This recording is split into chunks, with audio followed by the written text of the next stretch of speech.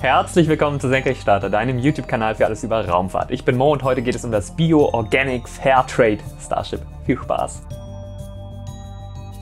Ein Thema, was jedem, der aktuell versucht, andere Menschen für Raumfahrt zu begeistern, immer um die Ohren gehauen wird, ist Klimaschutz. Ist ja auch ziemlich offensichtlich, dass das, was da aus so einem Raketentriebwerk rauskommt, nicht gut sein kann gibt zwar Raketentriebwerke, die nicht direkt CO2 ausstoßen, weil sie mit Wasserstoff laufen, aber grüner Wasserstoff ist aktuell noch nicht wirklich bezahlbar.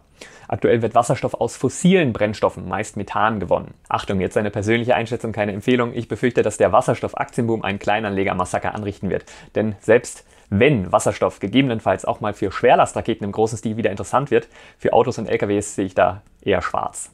Wie ist das denn jetzt aber mit dem Starship? Elon Musk spricht von Hunderten bis Tausenden Flügen pro Jahr. Bei einem einzigen Starship-Start werden 3000 Tonnen CO2 freigesetzt. Mal so zum Vergleich, wenn ein A380-800 von New York nach Sydney fliegen würde und dabei seine 250 Tonnen Kerosin verbrennt, entstehen etwa 780 Tonnen CO2. Also vier A380-800 Flüge gegen einen Starship-Start. Man könnte jetzt argumentieren, dass selbst ein paar tausend Starship-Flüge im Vergleich zu den vor Corona fast 50 Millionen Airline-Flügen pro Jahr nicht besonders schwer ins Gewicht fallen. Machen wir aber nicht, sondern wir klären heute die Frage, ob man das Starship erneuerbar betreiben könnte und was es dafür braucht. Wie immer bei mir findest du Quellen in den eckigen Klammern, wenn du weiter in das Thema einsteigen möchtest, unter dem Video verlinkt.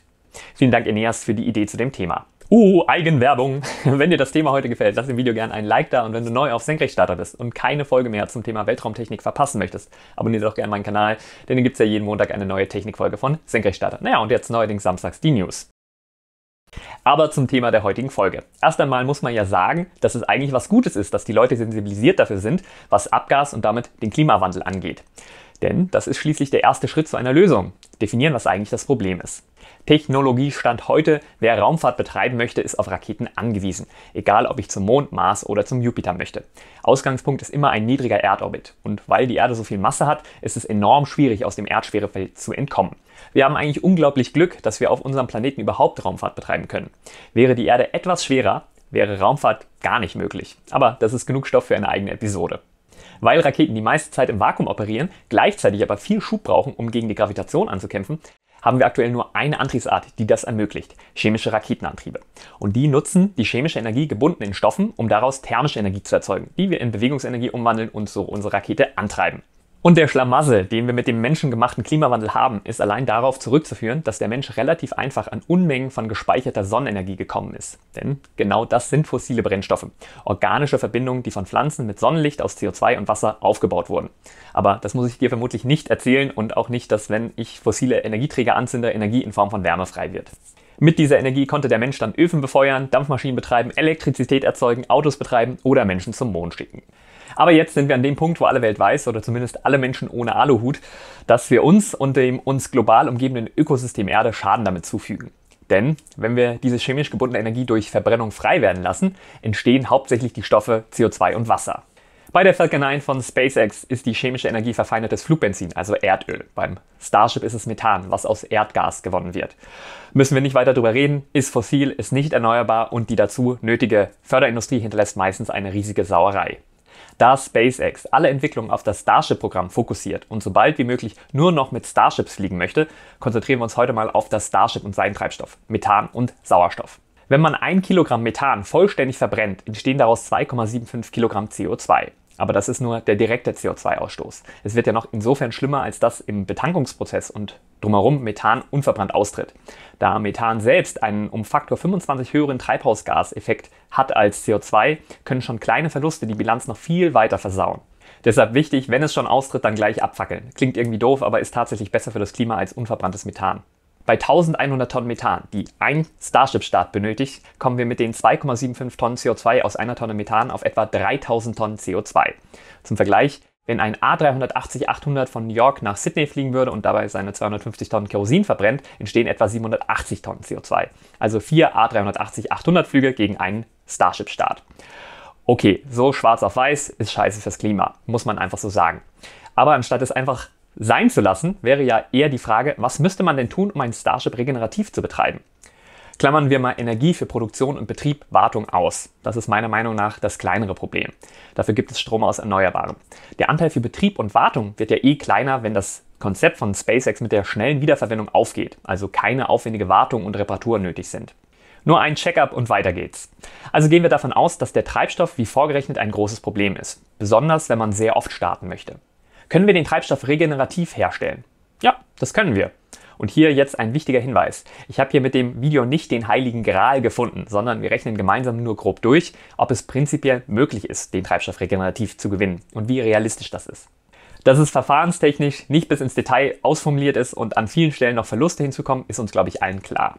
Fangen wir mal mit dem Sauerstoff an. Der umgibt uns zwar, aber wie wir in der Pandemie festgestellt haben, ist die Produktion zumindest von klinischem Sauerstoff nicht trivial. Denn die uns umgebende Luft besteht mit 78 Prozent überwiegend aus Stickstoff und nur 21 Prozent aus Sauerstoff. Sauerstoff kann man auf viele Arten gewinnen. Einer der ältesten und gebräuchlichsten Prozesse, der die Produktion im Industriemaßstab erst ermöglicht hat, ist das Linde-Verfahren. Dabei wird die uns umgebende Luft verflüssigt und kann dann durch die spezifischen Siedepunkte von Stickstoff und Sauerstoff in seine Bestandteile getrennt werden. Mit ähnlichen Verfahren, die Stoffe durch Siedepunkte trennen, kann man auch Erdölraffinerien betreiben oder Schnaps brennen. Für beides möchte ich hier keine Werbung machen.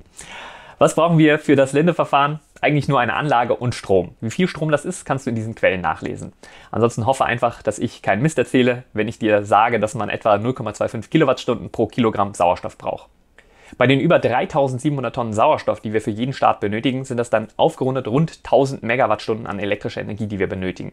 Solarenergie hat den Vorteil, dass sie quasi unbegrenzt zur Verfügung steht. Und ja, ist nicht so ganz praktisch, wenn es Nacht ist, aber den geschenkten Gaul schaut man ja bekanntlich nicht ins Maul. By the way, war eine super coole Aktion, die Solarindustrie in Deutschland zu killen und lieber Kohle zu subventionieren und dann den Energiekonzernen den Kohleausstieg zu bezahlen. Bei idealen Bedingungen strahlt die Sonne mit rund einem Kilowatt auf den Quadratmeter Erde. Das ist insbesondere im sonnigen, dem Äquator nahen Texas der Fall. Allerdings gibt es selbst dort ab und an Wolken und nachts scheint die Sonne da auch nicht. Schön, dass es da Zahlen für Texas gibt vom National Renewable Energy Laboratory. Die sagen, der Durchschnittswert für Texas ist 5 Kilowattstunden pro Quadratmeter und Tag, also 1810 Kilowattstunden pro Quadratmeter im Jahr. Im großen Stil eingesetzte Photovoltaikanlagen haben Wirkungsgrade von rund 15 Prozent. Wir können aus den 1810 Kilowattstunden Strahlungsenergie also etwa 270 Kilowattstunden bzw. 0,27 Megawattstunden Strom beziehen. Für 1000 Megawattstunden Strom, die wir für den Sauerstoff benötigen, brauchen wir also etwa 3700 Quadratmeter pro Starship-Flug pro Jahr. Das ist etwa die Hälfte eines Standard-Fußballplatzes, also überschaubar. Beim Methan wird es da schon kniffliger, aber auch das ist kein geht nicht. Hat dir mein Video bisher gefallen, dann nicht vergessen zu liken und wenn du mehr Raumfahrttechnik-Videos sehen magst, abonniere unbedingt den Kanal, denn hier gibt es ja jeden Montag eine neue Technikfolge von Senkrechtstarter. Ja, und wenn du es genauso wichtig findest wie ich, dass der deutsche Sprachraum sich mal für Raumfahrt begeistert, kannst du meine Arbeit durch eine Patreon-Mitgliedschaft oder YouTube-Kanalmitgliedschaft unterstützen. Kommen wir zum Methan. Das kommt, wie gesagt, normalerweise als Erdgas aus der Erde und ist damit nicht erneuerbar, sondern ein sogenannter fossiler Energieträger. Der ein oder andere wird vielleicht nach dem nächsten Chili auch denken, dass er einen Starship Methan füllen könnte. Aber ich denke, es ist nicht zielführend, wenn wir uns alle Schläuche einführen, um für das Starship Biogas zu produzieren. Wobei ich mir bei den Super SpaceX-Fans nicht mehr so ganz sicher bin. Okay, shit, lassen wir das. Aber hey, Biogas. Landwirtschaft ist kein schlechter Ansatz. Wenn du durch Niedersachsen oder Schleswig-Holstein fährst und vermutlich auch sonst durch viele Gegenden der Republik, dann sind dir bestimmt schon Biogasanlagen aufgefallen. Ohne zu sehr auf die Funktion einzugehen, hier wird durch Vergärung mit Hilfe von Mikroorganismen aus pflanzlichen oder tierischen Abfällen Biogas erzeugt. Meistens wird das dann vor Ort zur Stromerzeugung direkt verstromt und aus den Abfällen Dünger hergestellt. Aber theoretisch kann man das Biogas auch ins Erdgasnetz einspeisen oder eben ein Raketentriebwerk damit antreiben. Wenn wir an den Süden von Amerika denken, fallen uns vielleicht Maiskuchen und Popcorn ein. Gehen wir also mal davon aus, dass Mais in Texas gut wächst. Mais ist wohl auch relativ gut, was Ertrag von Biogas pro Fläche angeht. Und im Vergleich zu anderen Getreidesorten braucht Mais relativ wenig Wasser. Monokulturen sind nicht geil, aber fangen wir damit einfach mal an. Zu dem eigentlichen Knüller kommen wir gleich.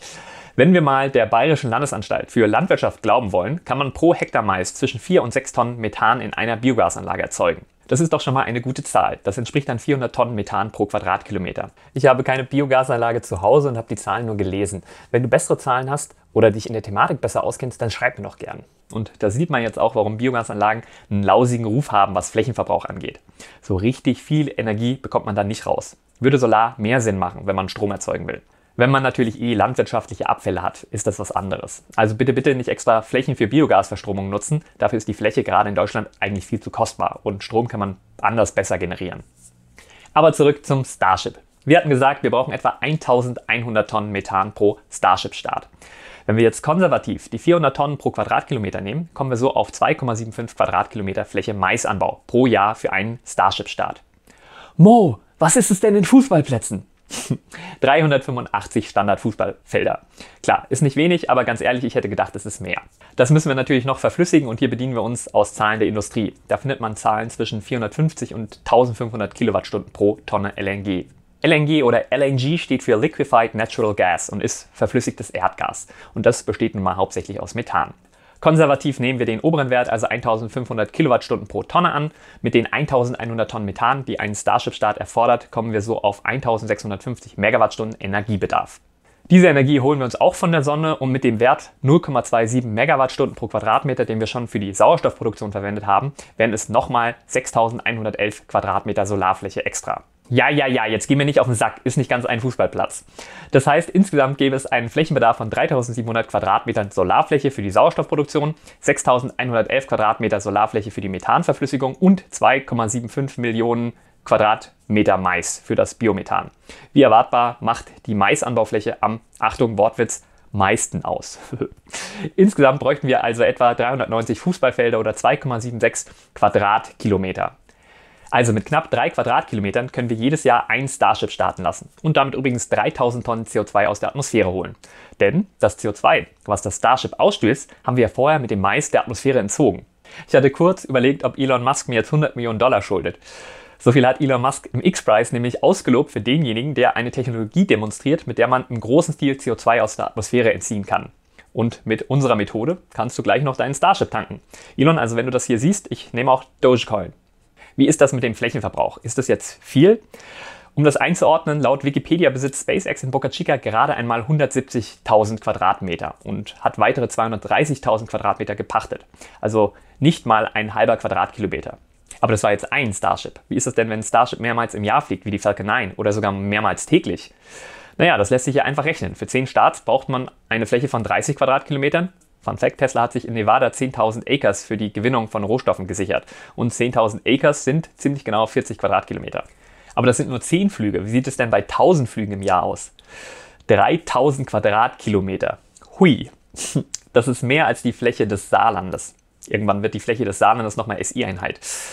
Ja, und etwa 0,6 Prozent von Texas.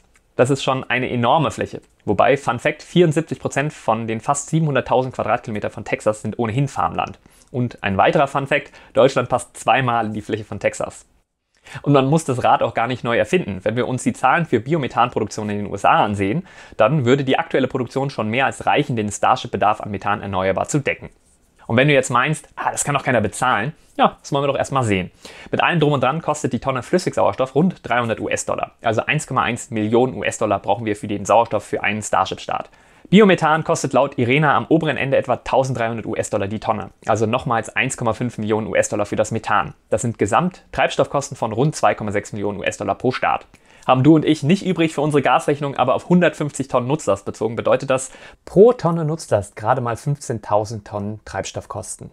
Das ist für Raumfahrtverhältnisse spottbillig. Zum Vergleich, SpaceX bietet seinen Falcon 9 Flug für etwa 60 Millionen US-Dollar an.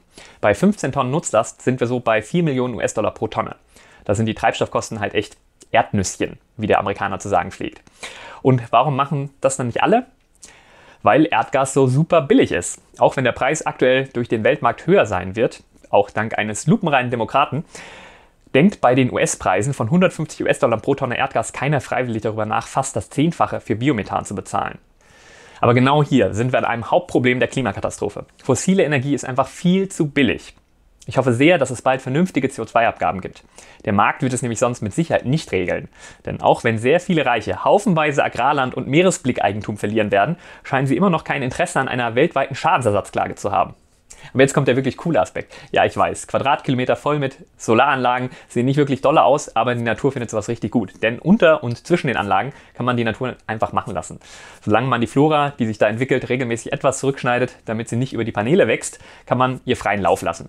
Blumen über Blumen bunt gemischt zwischen Licht und Schatten der Paneele, über Quadratkilometer verteilt. Das könnte ein echtes Bienenparadies bilden. Man könnte bestehende agrarisch genutzte Felder damit umrahmen und Biodiversität sicherstellen.